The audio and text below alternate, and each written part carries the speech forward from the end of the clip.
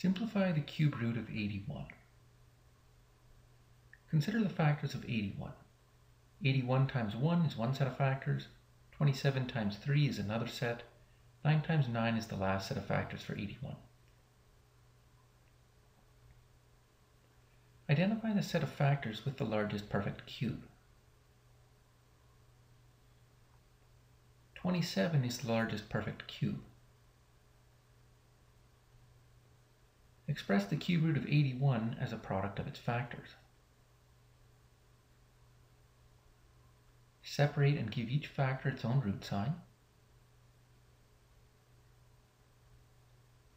The cube root of 3 to the power of 3 is equal to 3.